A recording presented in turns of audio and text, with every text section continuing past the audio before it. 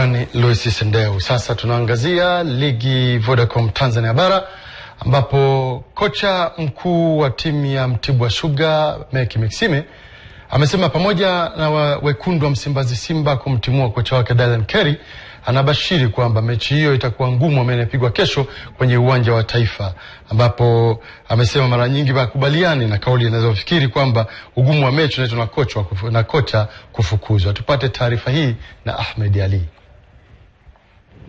Ligi kuu Tanzania bara inaendelea tena Jumamosi hii kwa michezo nane kurindima katika viwanja mbalimbali mbali.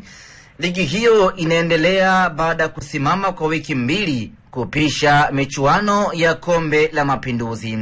Mechi tamu wikendi hii ni baina ya Simba na Mtibwa Shuga katika uwanja wa Taifa.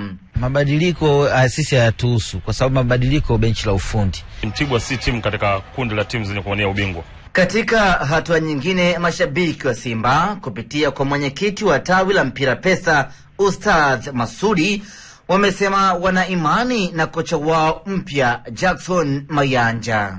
Kwa bajeti ya, ya Kagera Sugar na uwezo wa wachezaji wa Kagera Sugar na mishahara Kagera Sugar, amejitahidi kuifikisha Kagera Sugar katika kipindi chote alipoifundisha. Naamini kwa kuwepo kwake Simba, kwa mahitaji ambayo kidogo angalau wachezaji ni wazuri, kuangalia wachezaji wa, wa Simba tofauti na wachezaji wa klabu nyingi anaweza kuna kitu akafanya. Mechi nyingine zitakazochezwa Jumamosi hii ni JKT Ruvu dhidi ya Mgambo JKT katika uwanja wa Karume. Azam watawaalika African Sports wana kimanumanu katika uwanja wao wa nyumbani Chamazi. Ahmed Ali, Star TV, Darussalam.